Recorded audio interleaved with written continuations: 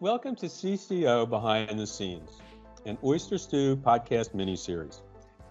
I'm Jeffrey Hiller, Managing Director at Oyster Consulting, former Senior Counsel for the SEC's Division of Enforcement, and I've also served as CCO at many well-known global investment firms. I've seen both sides. I've been on both sides, and I literally helped write the textbook for U.S. modern regulatory compliance. Being CCO is more than just checking boxes. There are office politics to navigate, nuances to deal with regulators and board members, and of course, ethical issues. Join me as I share my real experiences and lessons learned from my decades in the industry. Some things you just won't get from a textbook.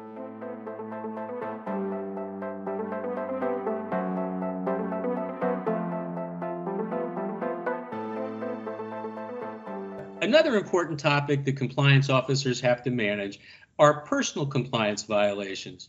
Many people at advisors and broker dealers have procedures that they have to follow to pre-clear securities, to make sure that uh, there's not open orders on the desk. And this is usually oftentimes automated, sometimes not. And it also, in many cases, applies to the portfolio manager, the trader, or whoever we're involved with. It applies to their family trading. And it wouldn't be unusual for uh, someone to their spouse or one of their children living at home to forget they had to pre-clear and and then they have a violation. In those cases, I think you just need to realize that yes, you're going to note the violation. You're going to encourage the. Uh, you're going to sit down and talk with the employee. Uh, you're going to talk with their supervisor and get them to understand how the process works. And most importantly, people have to understand that compliance should never ever sanction or discipline an employee. The compliance officer or whoever is managing managing this should share the information with the supervisor, should make suggestions to how the supervisor should handle it, and let the ha- supervisor handle the sanction or discipline or talk and notify compliance that they've done it. Because if you start sanctioning someone as a compliance officer, you become a policeman. You also become their supervisor. And that's not what you're looking for. You're looking to embed a firm with a culture of doing the right thing and that supervisors are responsible for that. As an example, one time I had a sales guy who I got a note, he was a CPA, and I got a note, and he taught at the uh, CPA American Institute. And I got a note from the Institute saying that my employee had fraudulently submitted expenses. That he said that he took a plane, but he flew his own plane. Said he had meals, but he didn't. And so the AICPA sanctioned him.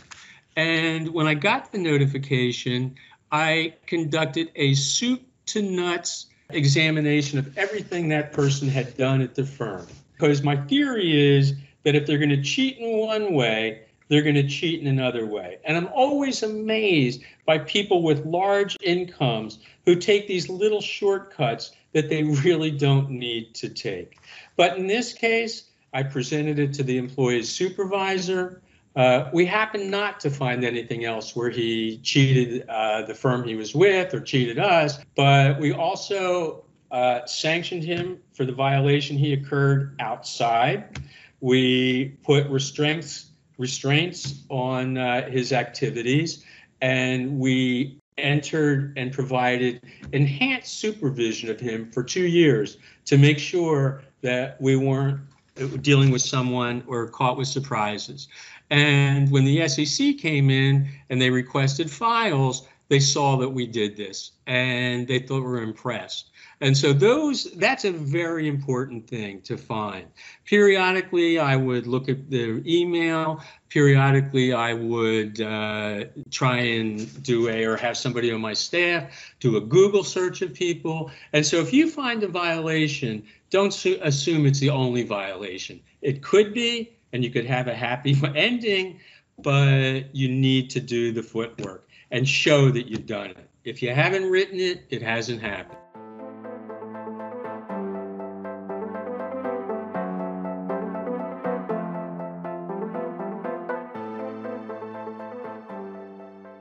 Thanks for listening, and I hope you found this helpful. If you like what you heard, make sure to follow the Oyster Stew podcast on whatever platform you listen to.